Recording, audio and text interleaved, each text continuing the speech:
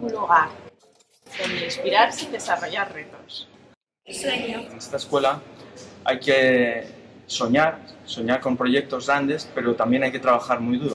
Completar. Que al verlo eh, se pudiera aprender con él. Lorda. Armonía. Juventud. Sincera. Futura. Socorro. intentar. Abierto. Interacción. Diversión. Intercambio. Especial. Ilusión.